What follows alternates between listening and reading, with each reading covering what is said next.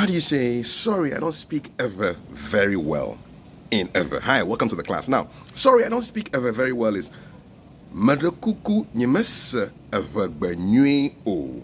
Meɖekuku nyemese ever o. Meɖekuku nyemese ever o. Is the language, ever, Ewe language. Nyemese, I don't understand. So, sorry, I don't understand Ewe very well.